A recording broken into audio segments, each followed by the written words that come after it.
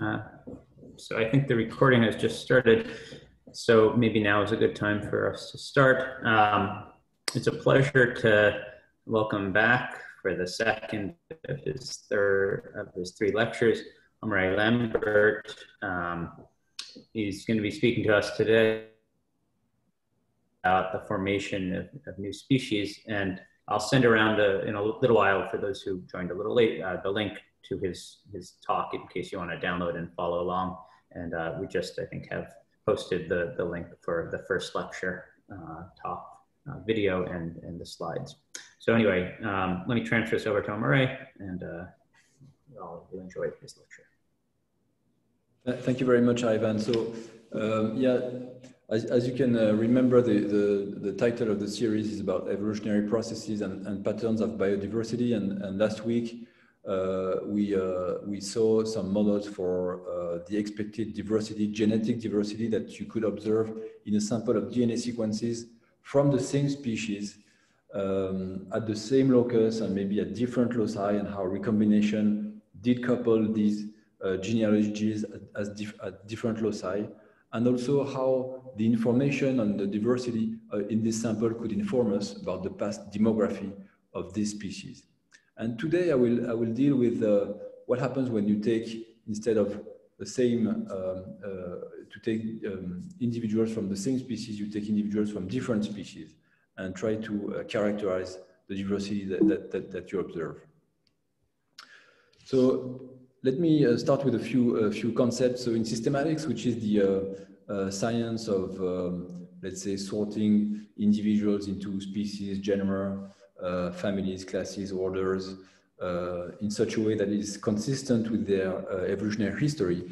species in the biological, in their biological definition are groups of individuals which can interbreed. It's also a synonym for mate or hybridize and cannot interbreed outside the group. The, the term that is used is reproductive isolation.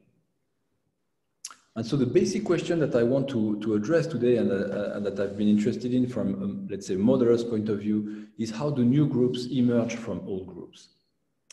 Of course, this is relevant to uh, this uh, series of lectures because reproductive isolation is a, a very powerful engine uh, for uh, fueling diversity. Uh, it prevents hybridization from blending phenotypes. So instead of having a gradient of all possible body sizes, you might have a species with very different body sizes. And of course, when you sample uh, a pool of individuals from very different species, for, from many different species, you will have a lot more diversity than when you sample them from a single species. Here, so let's say that last week we talked about uh, the diversity at a sample of DNA sequences and how uh, this diversity was mediated by the genealogy of the individuals that you had sampled. And today I will, I will uh, talk directly about the genealogy of, uh, of these individuals, which is called the phylogeny for the genealogy of, of species. And uh, you, you'll see that uh, we can consider phylogeny from diverse aspects. The tree shape, so the, the combinatorial properties of the, of the phylogenetic tree, and the edge length, so the, the metric uh, aspects of the, of the tree. On the, on the right panel, you can see an example of a, of a big tree. It's called the tree of life because it's supposed to encompass all forms of life actually only a few representative for, from a few species. And, and from that tree, you can see in blue the importance of bacteria and archaea in the, uh, in the uh, living kingdom. And a specific question that we, I will uh, address is whether we can learn from the phylogeny about the diversification process. That is the process that is responsible for, for the emergence of new species and the extinction of, of uh, old species. So these two, these two aspects that I, I mentioned, um, the combinatorial aspect and the, and the metric aspect, are um, uh, embodied in, very, in two very popular um, measures uh, used by macroevolutionists. Uh, one is beta and the other is gamma.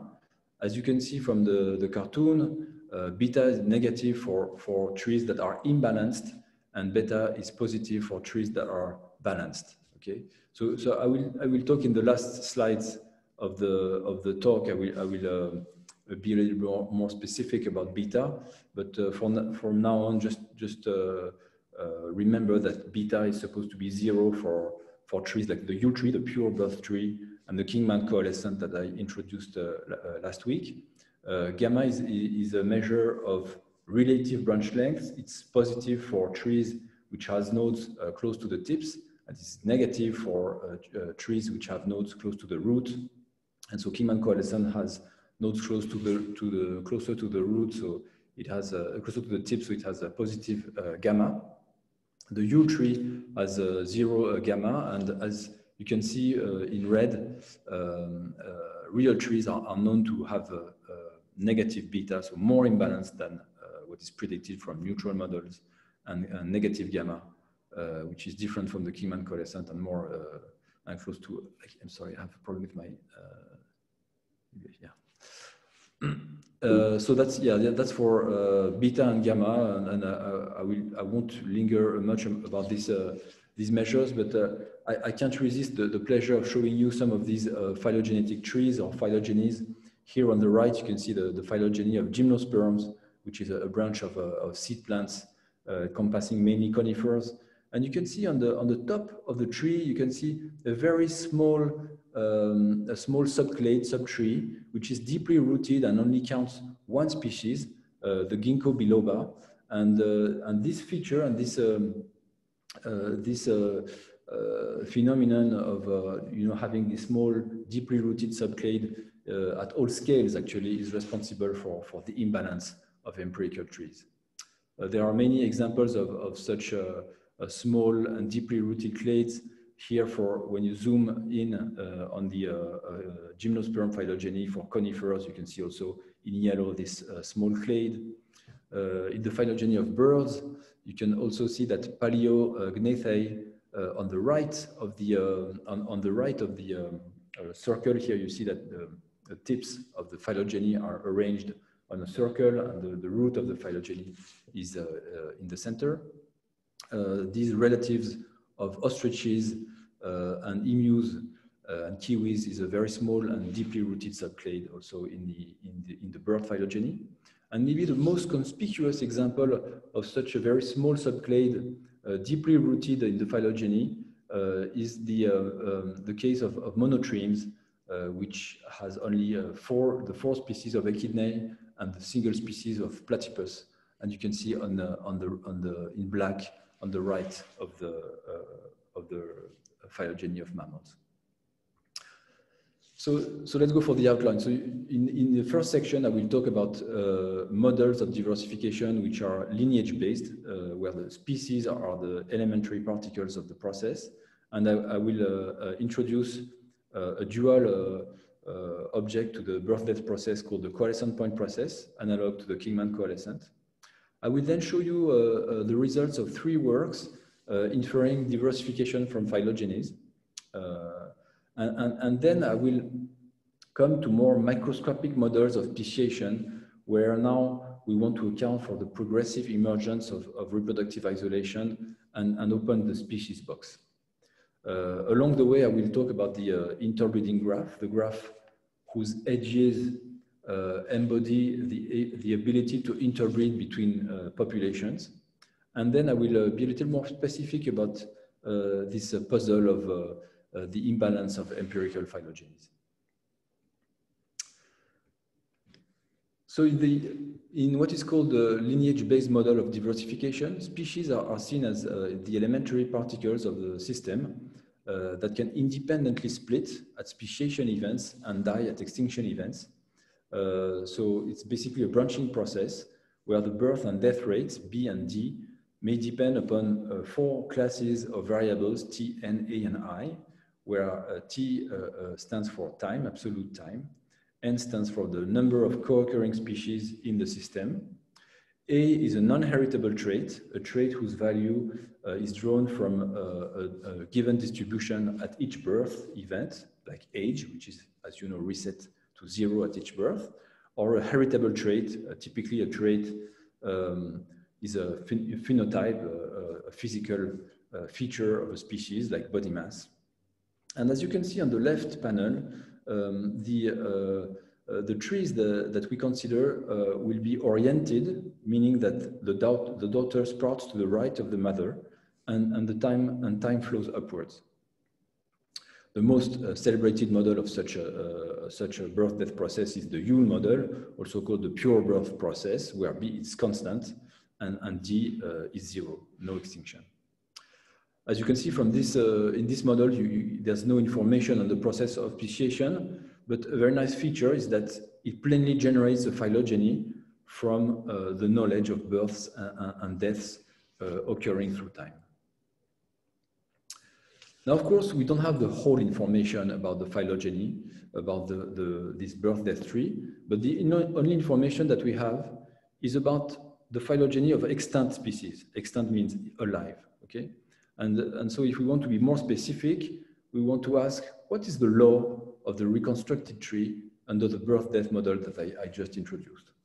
So the reconstructed tree or reduced tree in math is the tree spanned by species extant at, at some fixed time, capital T, or possibly by a, a sample of these extant species. So here's what I mean by a sample. So you, you take the, the tree uh, spanned by all uh, species extant at T, and actually what you do is that you, you uh, keep only a fraction of these by sampling independently with the same probability each species extant at time T, and you look on the right at the tree spanned by sampled species that is uh, generated by this sample. Another thing that we can do is assume that uh, instead of killing uh, or removing species uh, alive at time capital T, we will remove uh, lineages that were alive at time capital T minus S. Uh, to model the presence of a mass extinction event, we would say a bottleneck in population genetics, um, again by assuming that every lineage, every lineage that was present at that time Uh, was re removed and killed with the, its entire descendants with the same probability independently. So are, are we assuming that we kind of know a priori when these bottlenecks occur? Exactly. Or. Exactly. I mean, it might be an unknown that you want to infer, but it's fixed. And you, you may have several of these. Okay? So the, the main result that uh, we got uh, in this framework is the following. So assume that you have these birth and death rates that may depend on T, N, A, and I. Recall that T is, is time, N number of co-occurring species, and A is an inheritable trait.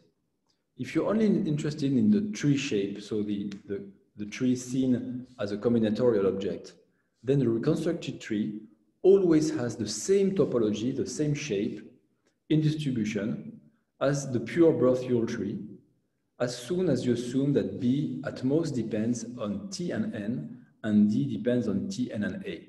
Okay, so if you, it means that all these trees have the same beta equals zero. Okay, they have the same uh, degree of balance and, and, and more than that, they have exactly the same shape in distribution as if you had a constant birth rate and no, uh, and no deaths. All right? Amaury, can I ask? So I understand the T. Uh, what? So N, A, and I. You introduced them, but how can you have in this model? I don't see how you have N bigger than one, right? Because you you just have these splits. So each time you split, you end up with a different species, right? So N is the N is the number of particles in your birth death process, if you want. Oh, it's the total number. Okay. And A and I, how are these determined? So A, so A, think of A as the age of your species. So you have one particle which has age A at time t. So that was the time it split off from. Exactly. Okay. And I was what? And I might be uh, some traits, so some, let's say, um, real number that uh, varies stochastically through time. I, will, I won't talk uh, uh much more about it. But, but that's uh, some sort of possible space-time randomness, or you know, space or time randomness, I guess. Yeah, exactly. Yeah. Okay.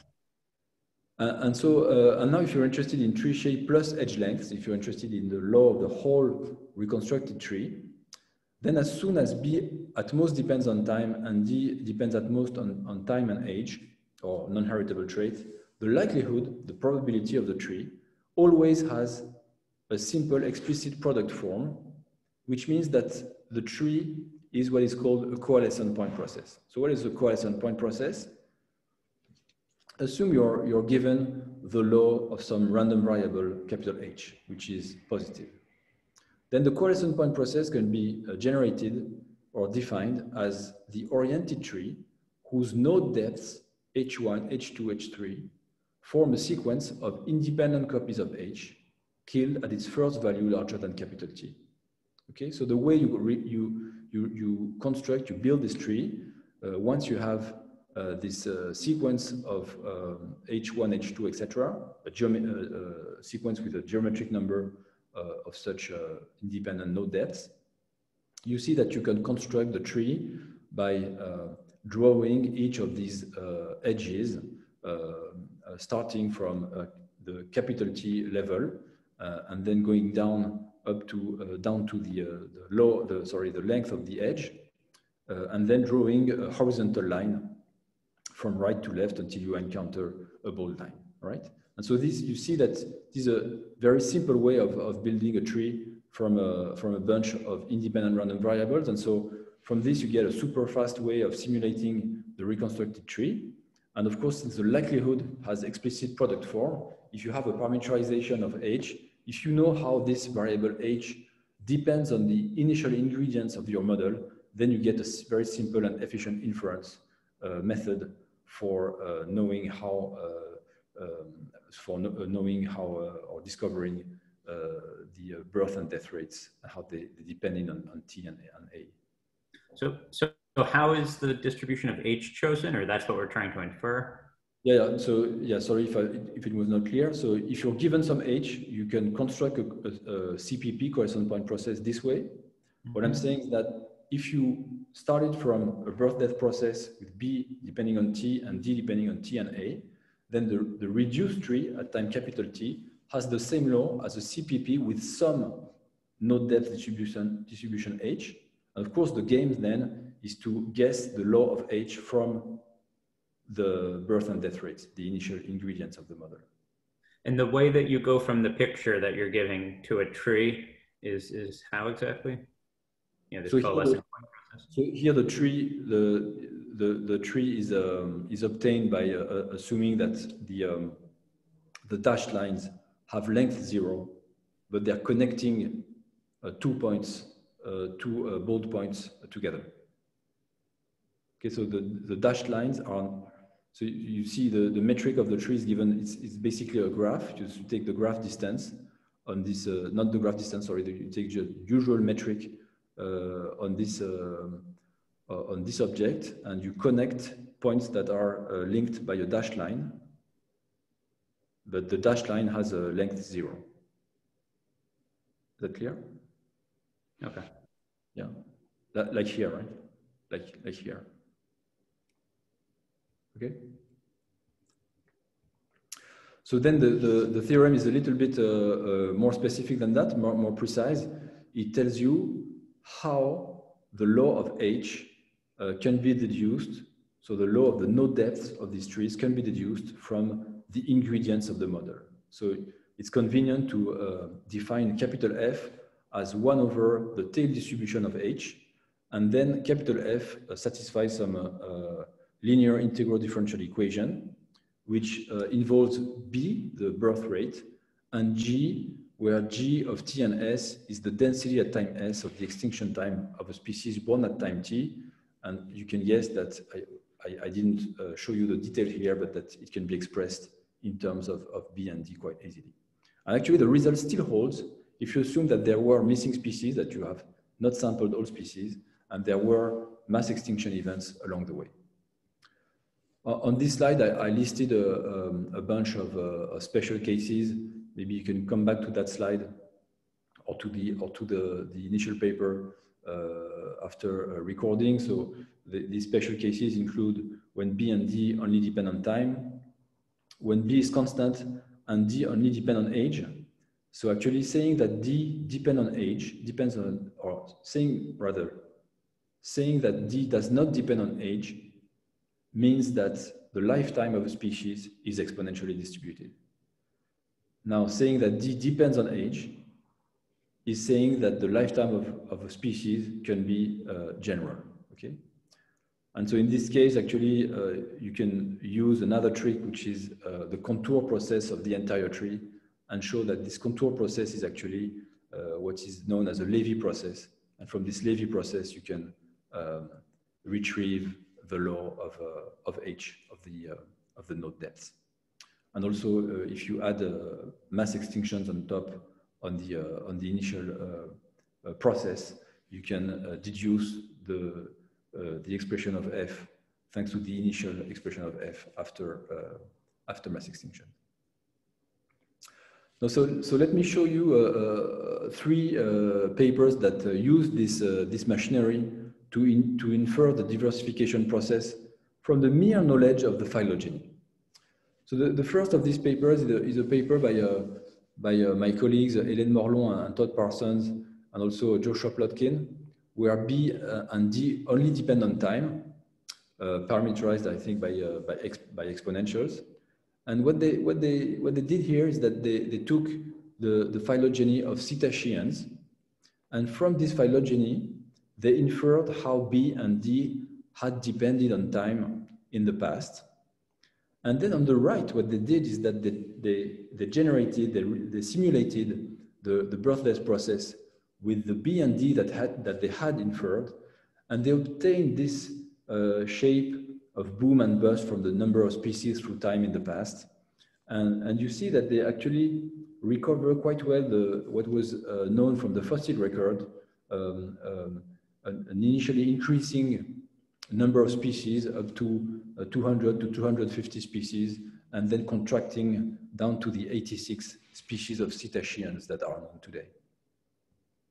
The second example is a sole author paper by, by Tanja Stadler. She used the, the phylogeny of mammals that I showed you earlier. Actually, she, she broke this phylogeny into uh, several subtrees and she inferred the, the way B and D depend, depend on, depended on, on time in a piecewise fashion for each of these subtrees. In blue, you see what the, the result of the inference for the whole phylogeny. The, the most uh, uh, important and, and, and, best statistically supported uh, shifts in diversification. So here you see on the y-axis, the diversification rate, which is just B minus D, the, the growth rate of the phylogeny, the growth rate of the number of species. And you can see that there, there has been a great peak in all these subclades, in all these uh, taxa, uh, a peak approximately uh, 30 million years ago, um, coinciding with the uh, cooling of the Earth. And the, the other uh, best statistically supported shift is 3.3 million years ago. You, you see a, a, a sharp decrease in, in diversification um, coinciding with high tectonic activity. In a third uh, uh, work where I was involved with uh, Tanja Stadler and Helen Alexander, um, instead of having B and D depend on time, we, we, we assumed that B was constant and D depending on age, meaning, as I said earlier, that the lifetime of a species could be uh, anything, and we parameterized it uh, in terms of a gamma, uh, gamma random variable with shape parameter k, and what we did is we, that we used the, uh, we, we first uh, um, uh, checked whether the coalescent point process framework was able to uh, accurately estimate by maximum likelihood. This is what MLE stands for, stand for, so uh, maximum likelihood estimates. Uh, if we could accurately estimate B, K, and S, and, and this worked, so we, we applied the method to the bird phylogeny that I showed you previously, with, with uh, close to, uh, to 10,000 species. And the, the result is that the exponential model, which corresponds to k equals 1, k equals 1 means that the that uh, the uh, lifetime is exponential and so that d does not depend on age. The exponential model is rejected with a, with a large uh, statistical support. And so the extinction rate means that the extinction rate depends on age. And because the shape parameter was uh, actually estimated to be much larger than one, it means that the extinction rate increases with age, uh, suggesting that species do age. Uh, in passing, we, we, uh, we estimated the average lifetime of species to be uh, approximately uh, 15 million years, and that each species give, gave, um, on average, birth to another species every 10 to the 5 years, 0.1 million years. All right, so, so these lineage-based models of, of macroevolution uh, are very popular. There are all sorts of, of, of such uh, models. So I showed you the time-dependent models. I showed you uh, an age-dependent example. there is also well-known work on diversity-dependent diversification, where the rates depend on n. And uh, there is a, uh, since uh, 20, 2007, and, and this paper by, by Maddison et al., there has been a, um, a craze about trait-dependent diversification uh, and, and, and the methods uh, that are associated with these models, BiSSE for binary state, QuaSSE for a quantitative state, HiSSE for a hidden state. And actually, these methods, these methods have been so popular in the last decade that uh, uh, you have that you you could read up to four survey articles on, on this same topic. So I, I show here on the right uh, the titles of these uh, four uh, uh, popular survey articles. But act actually, the, the problem is that, of course, species are not are not particles. Okay, and so if you want to get some information about the diversification process, a little more than just the speciation rate or extinction rate, which does not have like, let's say a biological meaning, at least in terms of uh, what you can measure uh, on the field. Um, these models do not inform us about, about, about these. And so, uh, and, and, in addition, uh, it is known that uh, reproductive isolation is progressive, it takes time, and so speciation is not instantaneous as in these models you see on the, on the cartoons here two examples. So the, the first example is uh, known as allopatric speciation, where two populations initially coming from the same species uh, uh, separated geographically and uh, reproductive isolation occurs as a product, as a byproduct of local adaptation. The second cartoon is actually a toy example explaining why this can happen. It's called Bateson uh, Dobzhansky-Muller incompatibilities, BDM. It's supposed to um, model what happens at the genetic level. And so if you, if you can uh, see what, uh, if you can read the, the, uh, the, the, cartoon on the right, uh, you see that you start with a um, um, one monomorphic population uh, where at locus one, everybody carries small a allele, so small a, small a, because it's a diploid species. At locus 2, everybody carries the small b allele. And then this population splits into two. And as time, uh, as time evolves, the first uh, population uh, sees a mutation from small a to capital A in some individual. And maybe because of local adaptation, this big A allele will go to fixation until everybody is homozygous at this uh, locus, uh, big A, big A. And the same occurs at locus 2 in the second population. And so at this point, you have one population which carries big A, B, A, small b, small b. The other population which carries small a, small a, big B, big B.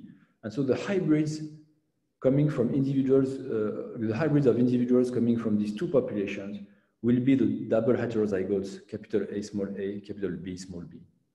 If this, if this double heterozygote is unviable, then you have produced two, two populations that are reproductively isolated from each other. Of course, this takes time, but you see that it kind of solves what is called the species paradox, the fact that at no point in time there has been Uh, a first individual of a new species.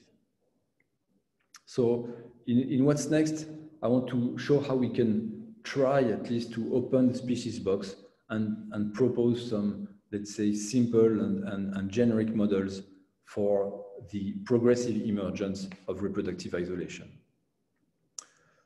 So the idea is that now in these models, species are, are no longer the elementary particles in the system. The elementary particles can be individuals, but I will more often talk about populations.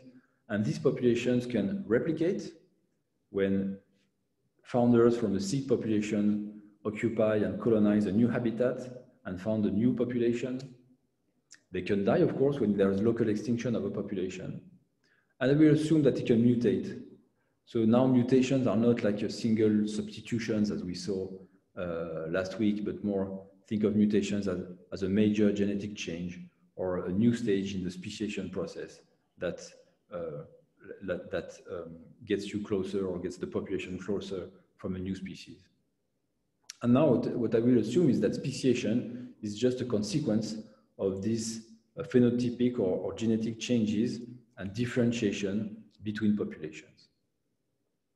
And now compared to the lineage-based models where we very simply saw that we saw that we very simply had uh, uh, new species occurring and uh, very easy to define the species phylogeny and we had a very, a very efficient way of simulating and inferring from the phylogeny.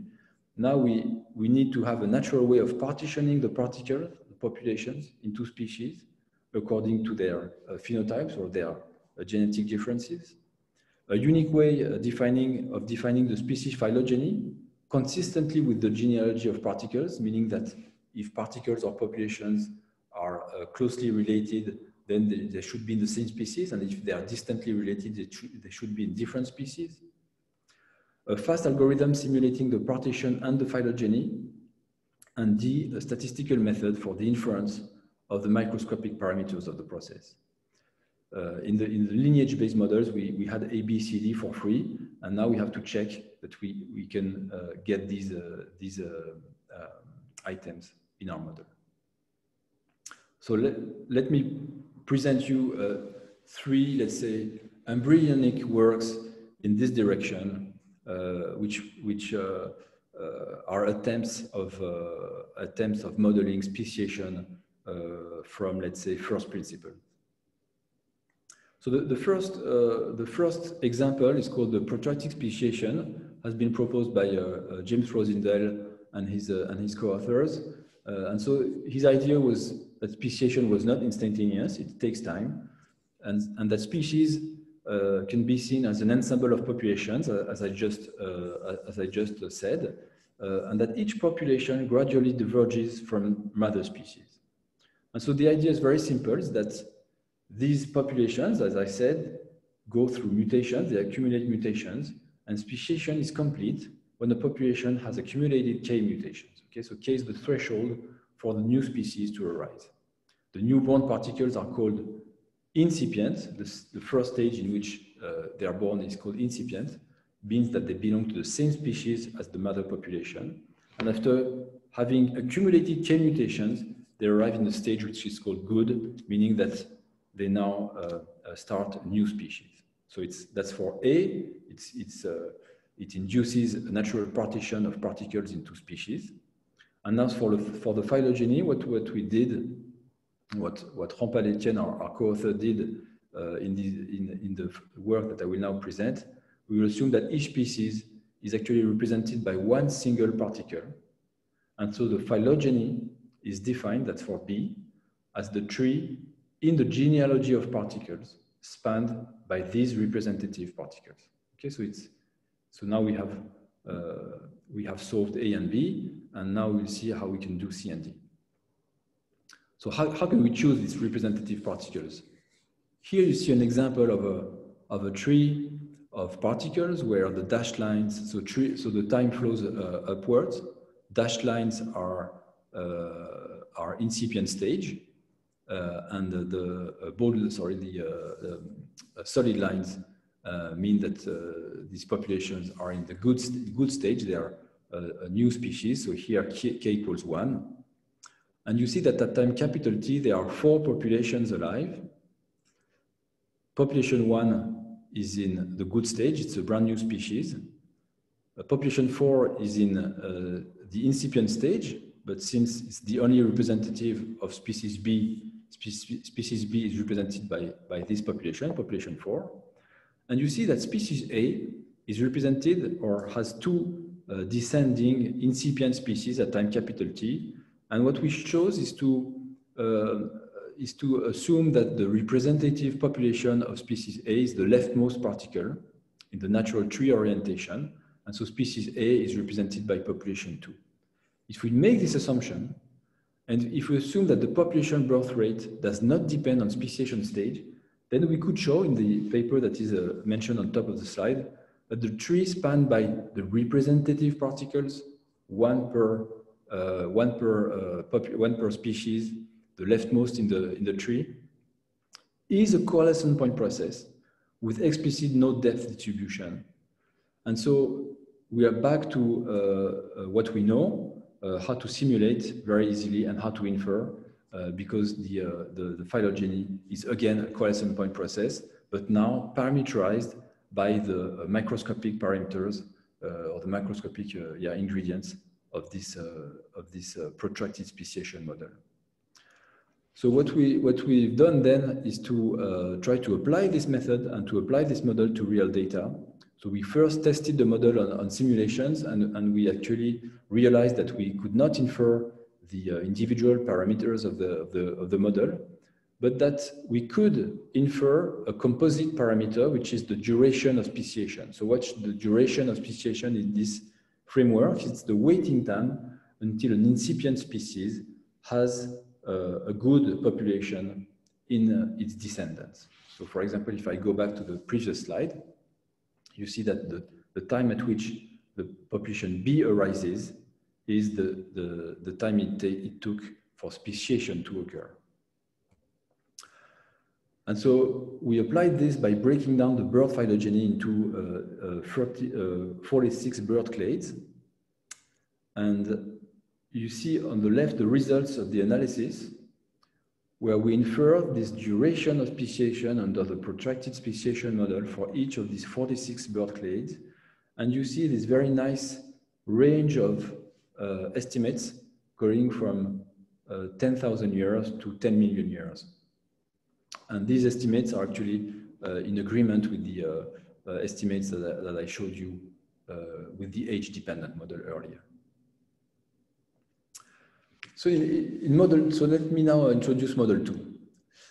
So model two starts from the uh, realization that uh, there's no, we, we don't have any knowledge of, of who is the mother species, which is actually a problem which formally is, is, formally the same as uh, guessing the ancestral state uh, when you when you when you have a, a sample of, of DNA sequences. And so because we don't have the knowledge of the mother species, we cannot really partition particles uh, with reference to this mother species. And we, we can only uh, sort uh, particles in different species according to their differences, okay? And so the two natural rules that you uh, would like to, uh, to apply in this framework uh, are the following. For example, you can fix some threshold Q, and rule one is to consist in, in putting in the same species all particles that are separated by less than two mutations. And rule two is basically the converse, saying that particles by separated by more than two mutations are in different species. Of course, what you would like is to have a partition in two species which um, satisfies the two rules simul simultaneously. But if you look at the example on the right and you take q equals one, you will see, for example, that if you apply rule one, particle one and three will be in the same species because they are separated by less than one mutation. Three and seven will be in the same species because they are separated by no mutation. Seven and nine will be in, in the same species because they are separated by one mutation. And so one and nine will be in the same species. So and these X is labeled by alpha, beta, gamma, delta are the mutations? They are just mutations that occur, let's say, at different places on the, uh, on the, on the genome. But yeah, maybe forget, it's just to say that there are different mutations occurring at different uh, loci. And so you see that if you apply rule one, one and nine will be in the same species, but, but this contradicts rule two. And so there's no way actually of, of, of, uh, of reconciling the two rules. And actually, even if you only take one of these rules, there are multiple partitions that satisfy either rule. For example, uh, rule one, the partition where you put all particles in the same species satisfies rule one, and the partition where you put every single particle in a different species satisfies rule two. Okay, so it's not clear how you can partition into species. That's problem A, and even less clear if you want to uh, define the phylogeny from this partition. Now, a nice uh, situation happens when each subset of tips in your partition is monophyletic. What does it mean? Monophyletic means that it forms a subtree. Okay, so it, it includes all the descendants from their most recent common ancestor in the genealogy. It's not easy, it's not difficult to see that each species form monophyletic subsets, then there is a unique phylogeny that can be uh, consistent with the genealogy, and that's obtained by collapsing each subset of your partition into one single tip in the phylogeny. And the good news is that we can uh, define uh, naturally uh, some monophyletic partitions that satisfies that satisfy the rules that I just um, uh, that just stated. So that's a, that's a result obtained uh, with Marc Manceau, a former PhD uh, of mine, co-supervised by Hélène Morlon.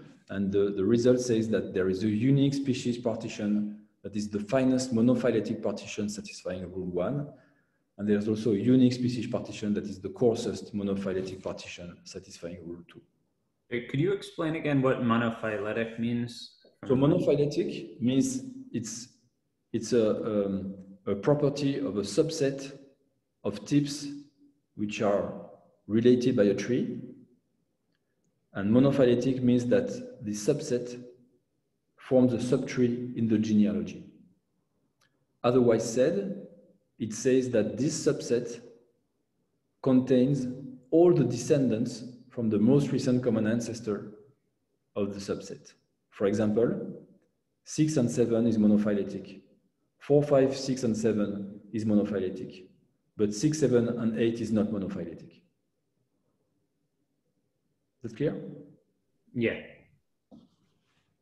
So we, so we use that uh, first rule uh, to uh, apply this model to real data. So forgive me about this dense slide.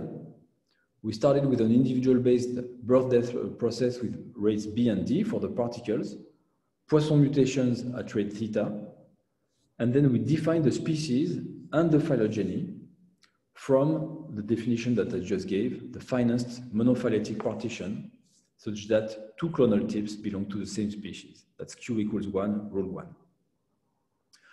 That's for A and B, so we have a, a, nice way of, of partitioning into species and defining the phylogeny from this monophyletic partition. And now for C, we showed that actually, if you, if instead of keeping, of bookkeeping all the mutations in the genealogy, you only keep the information of state one or zero of the lineage, which actually is saying that a lineage is in state one if the type that it's carrying at, time, at, at the time you're looking at it is not represented at time capital T, and state zero if the type it carries will be represented in the future at, at time capital T, then with this three type of, uh, of uh, if, if you, sorry, if you enlarge the, the, the information of the genealogy with these states, uh, then you, you can simulate very rapidly the, the phylogeny by collapsing into one tip all the descendants of each node where the two descending subtrees are in state zero. And then for D, we had what is known as a peeling algorithm, which is a way of, let's say, dividing and conquering the, uh, the uh, let's say, the exploration of the, of the tree and, and computing the, the likelihood of a given phylogeny under the, under the model. And what we showed is that when we apply this method to uh, simulations, we, we get very precise estimates, as you can see on the well-behaved uh, contour uh, likelihood uh, contour plot on the right, very precise estimates of two parameters, theta, the mutation rate, and b minus d, the growth rate of the genealogy. And at the end of the lecture, I will show you uh, uh, a nice application of, of, the, of this model. So the third model is called the split and drift evolving graph. And if you recall what we, what we just did in, in model two, you could actually imagine that we, what we did is actually draw an edge between particles that are separated by less than two differences. And the idea is that basically the, the species are the connected components of the graph that you uh, define this way. The, the fact of knowing whether an edge uh, exists or not depends on the whole genealogy and the mutations that are on it. But our idea was to now explicitly model these edges. And in the process, in the sorry, in the framework of uh, systematics and and the biological definition of species, then you declare that an edge uh, is present between particles as soon as they are able to interbreed. And our, our, our uh, goal here was to um, have a simple model uh, where interbreeding, these edges evolve by replication when the, when the uh, particles split, and spontaneous divergence that we call drift when the, uh, the edges, after some random time, uh, spontaneously disappear. Note that this interbreeding relationship is not transitive, as you can see from this example here, a well-known example of, of ring species, uh, starting with a, uh, so that's a species from the uh, genus Ensatina of, uh, of salamanders. It starts with the one ancestral species in the, in the northwest of the, of the USA, and you see that it diversified into different morphs on, the, on the two sides of the San Joaquin Valley. And here, two adjacent populations can interbreed, but when the uh, when the uh, uh, morphs, when the populations meet on the southern side of the of the San Joaquin Valley, the two populations here cannot interbreed. So you see that this interbreeding graph is not transitive. It's cyclic minus one edge at the uh, south uh, southern end of the of the valley. And so what we would like to do is to define species as the connected component of the interbreeding graph. So the, the, the, model here is as follows. It's, a, it's again a model where there are births, there are deaths, and there are mutations. Uh, but mutations are actually a little bit uh, simpler. They just involve edges that disappear after some random time. So here we assume that the number of populations, the number of particles is fixed, equal to n, and the birth and deaths occur according to a Moran model, which is actually the uh, counterpart to the uh, Wright-Fisher model in continuous time. And this goes as follows. I treat one half per oriented pair AB of particles or populations. Population B goes extinct and simultaneously A goes, gives birth to a new population called A prime. And now how does the graph evolve at that time? Since A prime is the daughter of A.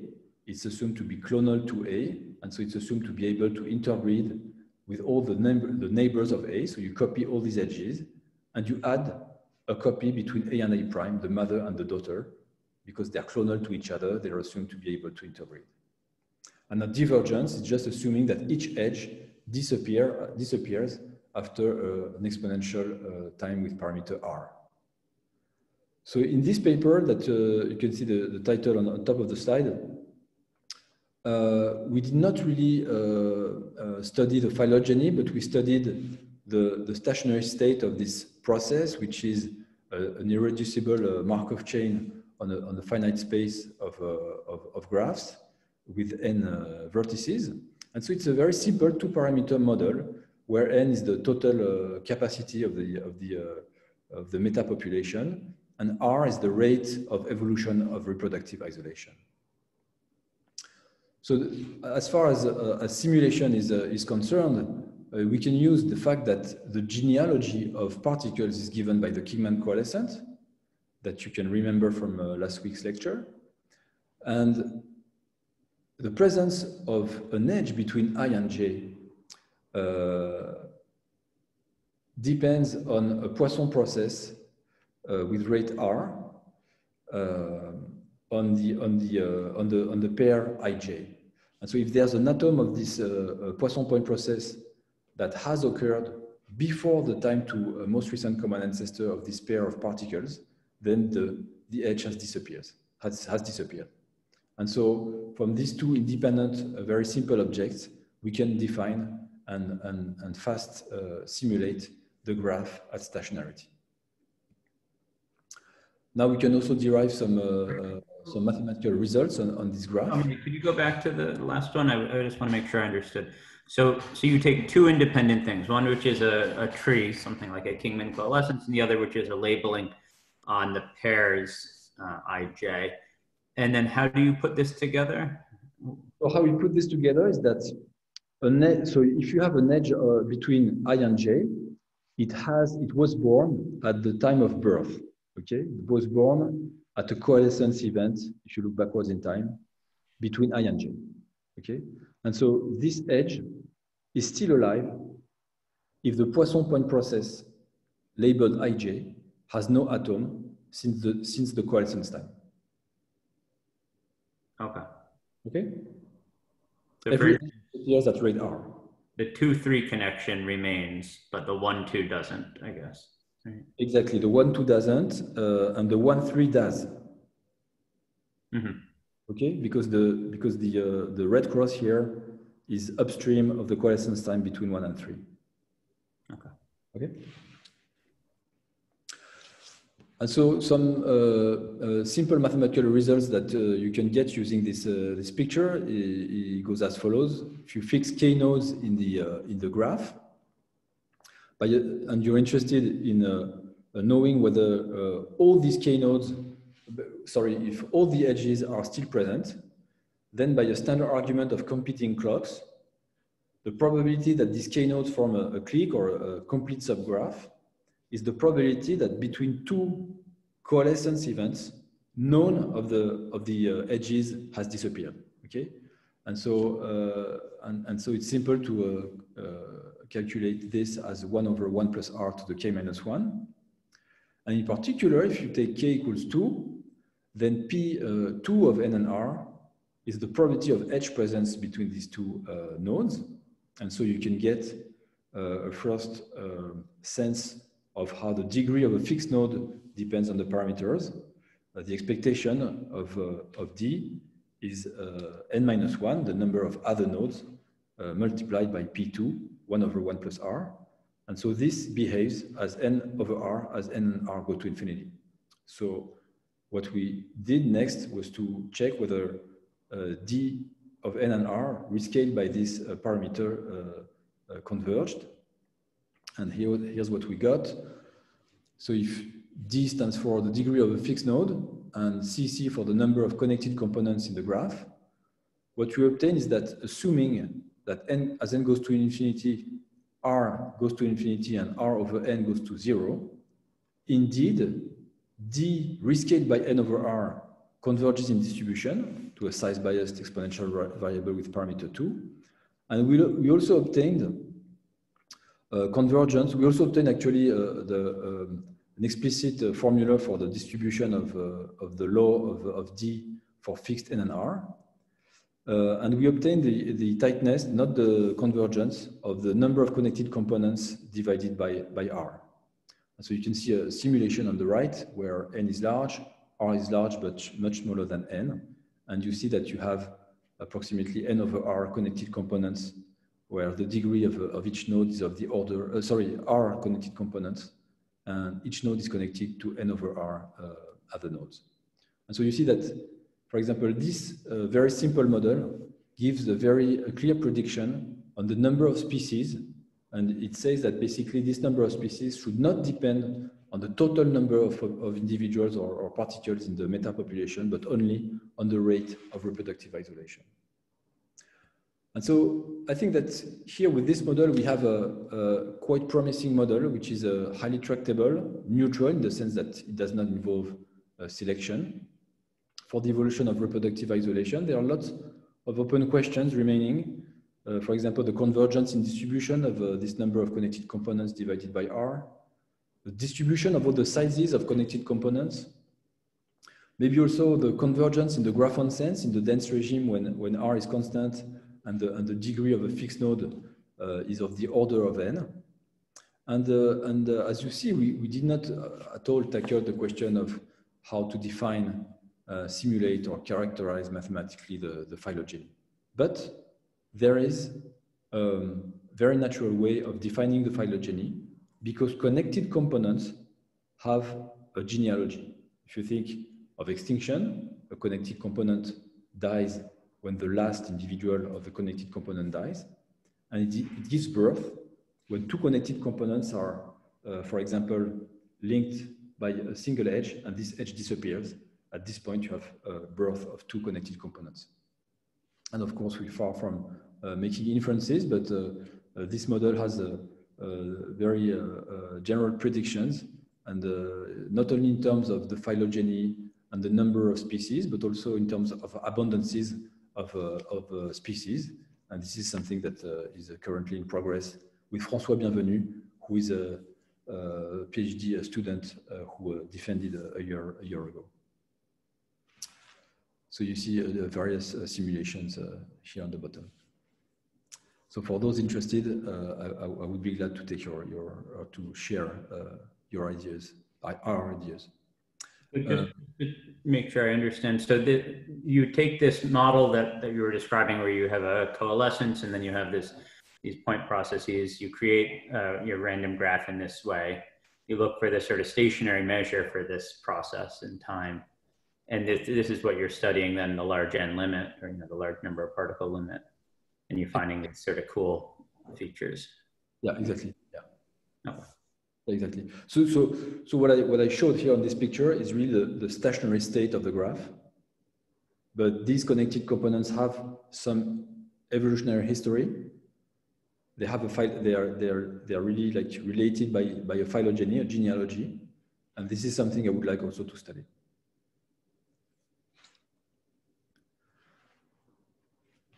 So in the abstract, I had mentioned two applications. One was this uh, question of how does the interbreeding uh, graph look like at stationarity. And the second one, for the five minutes remaining, is, let's say, a, a more, a, deeper um, dive into uh, this question of beta and the imbalance of tree shapes. And actually, this question goes back to uh, works and questions by uh, the famous uh, probabilist David Aldous, who who um, came up with um, a model for a random binary tree T sub n uh, with n exchangeable tips labeled by one n. Okay, so what's uh, what's the, is the model that he proposed? So you, he assumed that we are given distributions qn on one n minus one, and we are given uh, n balls which are colored and actually labeled by one n. So you start from the bottom of the picture. You have these uh, six colored balls. You draw some uh, variable kn, k6, according to the distribution qn. You find four, and then you randomly sample uniformly four of these balls. You put them into one box, and the two others into another box. Okay, and you do that again and again, independently, until every colored dot, every ball, is in a single, uh, is in a, a, different box. When you do that, once you have done that, you can actually uh, copy that and apply the same procedure to a tree, right? So meaning that when you divide your uh, colored balls into uh, a box with four and a box with two, you can say that you will share the labels, the corresponding labels to the left part in the left subtree and the two others in the right subtree. Left and right having no importance here, right? And so you do that again and again, and you produce a binary tree where all the labels play the same role, they're exchangeable, and, uh, and with, with n such labels, okay? Is it clear? So you, do that using Qn first and then Q4, so Q6 first, then Q4 and Q2, then Q3, etc. Okay. And a nice uh, feature of this model is that when you take Qn uniform, it yields exactly the same tree shape uh, as a, a Yule tree stopped at a fixed time, and also as the Kingman coalescent. Now, if you, if you remember, I, I talked about uh, sampling consistency last week. So recall that Tn is a, is a random binary tree with n exchangeable tips labeled by one n. And if you call t prime n the tree obtained by removing one tip from tn plus 1, say the tip labeled n plus 1, but that plays the same role, then the model is said sampling consistent if tn and t prime n have the same distribution. Of course, this uh, property is quite desirable in, uh, in biology. You don't want to have your, your sample depend on, on the order in which you have, uh, uh you have uh, sampled your, your individuals, and, and that not depend on if whether if you have like sampled uh, let's say n plus one and then removed one, you don't want this sample to be different from just taking n from the beginning. And of course, the uh, uh, archetypal, archetypal example is the Kingman coalescent. So a way of, of constructing a, a, sampling consistent model is as follows. So assume that you're, we're given some, some measure or some law mu on the unit interval, okay? And so here on the right, you see uh, the unit interval. So what you do is that first you, you uniformly distribute your color dots in the unit interval. Okay, so that's the bottom of the picture. Okay, so you uniformly distribute them independently in the uh, unit interval. And then the first thing that you do is that you fragment the unit interval according to the, the measure mu. That, that's the cut point uh, drawn in red here on the picture. And then you consider separately each of the two intervals. And that's, that, makes, that makes a sharing between the, the, the balls the, or the dots that are on the left and the dots that are on the right. Okay. And you do that again and again until all the dots are in different subintervals of the unit interval. And that uh, produces a tree. And why is that sampling consistent? Because of course, if you, for example, look at the subtree here and whether you can uh, generate the subtree like starting with uh, five colors or six or six colors and then uh, and then uh, take away one color, you, you, get the same tree, right? Actually, you can even couple all these trees in the same state, in the same space, same probability space by um, uh, draw by uh, sorry by uh, throwing all the the, the integers from the beginning in the unit interval. Actually, the converse was proved by uh, Haas, Miermont, Pitman, and Winkel in, in, in 2008 using fragmentation processes. And, uh, and I did the same, but without using uh, fragmentation processes recently. And they showed that this tree model is sampling consistent if and only if we are in this situation where, in, which case Qn of i uh, can be written as in the, as on, on the red, with the red expression here on the bottom of the picture. Actually, you can there's a more general um, model where you can add, add what is called erosion, meaning that uh, sometimes you will um, put one of these dots uh, at random in an isolated box.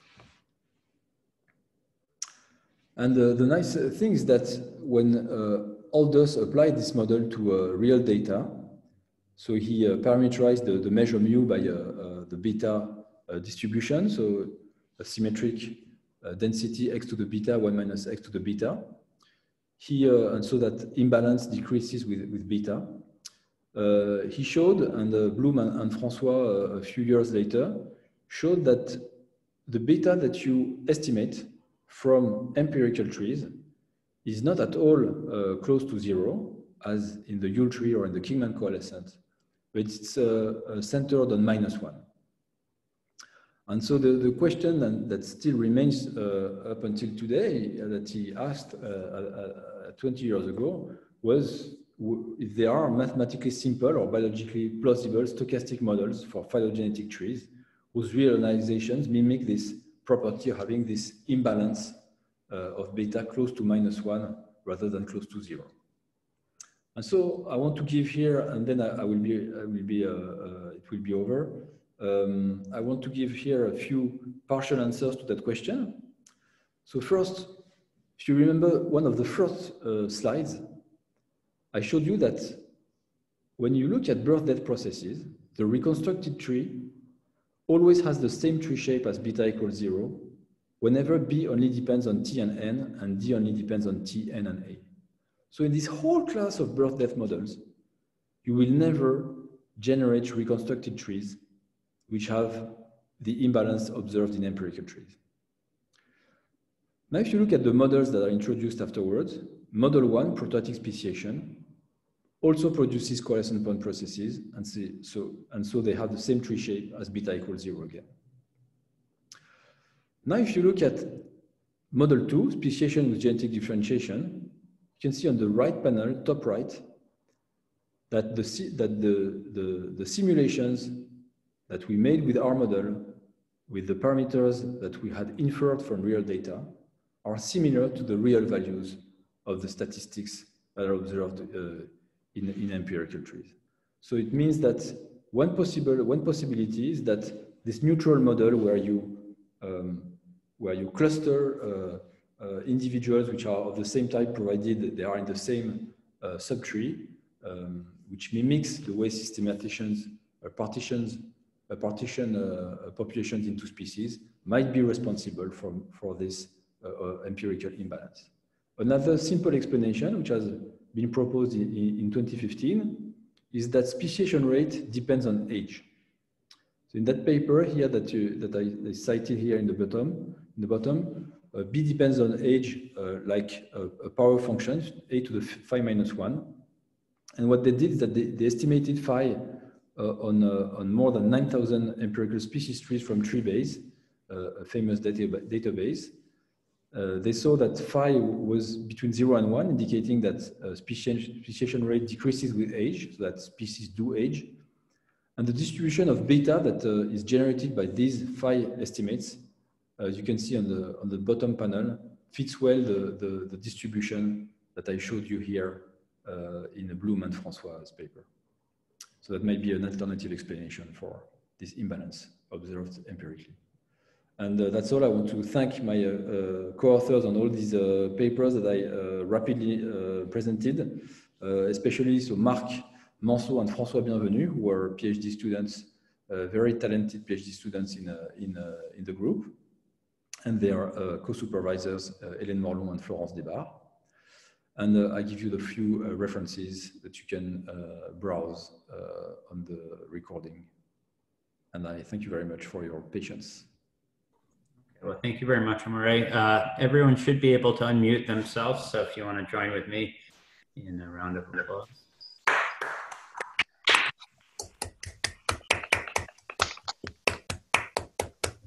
And uh, we can take a, a, bit of time, but maybe if people need to leave, they can go as well. Uh, if people have questions, and I know that there were some in the chat, I'll just mention um, the most recent, which is uh, from Francois Bonhomme. Uh, how do you deal with the secondary gene flow after incomplete RI? Uh, or how do you deal with incomplete RI because you have a very simple threshold to define RI? Maybe you can remind us what RI means as well. So RI is a reproductive isolation. And um, yeah, so so actually, I, I, do not allow in the uh, in the models. I do not allow um, um, uh, how do you call that um, rever reversing isolation. So you can only increase reproductive isolation uh, by spontaneous divergence between between particles. So I, I, I never I never like model secondary contact or or uh, let's say reversal to uh, to um, to know to know reproductive isolation. Yeah, there's another question: Is selection an alternative explanation for beta equaling minus one? Yeah, yeah. So the problem is that it's hard to really like uh, picture how selection occurs at the uh, at the species at the species uh, level, right? So of course, you might assume that uh, um, a trait uh, like I, you know, a heritable trait, acts uh, at the species selection level, meaning that, for example, a species which have like a smaller body mass speciate more than others, uh, then of course you will produce a more imbalanced substrate. Yeah, sure. So species selection can be an explanation for, for imbalance. Okay. Well, so maybe now is a good time to end. Um, so uh, again, we thank Amaury for his excellent lecture and we'll post the recording and the slides on the website, uh, similar link to the one that we gave before, uh, so the IICD website. And uh, we'll uh, also send around a reminder for the third talk, which will occur same time, same place uh, next week. And then we'll have a one week gap and then we'll start up with Alison Etheridge's talks. Okay, well, good to see everyone. Thank you very much. Have a nice weekend. See you next week. Yep.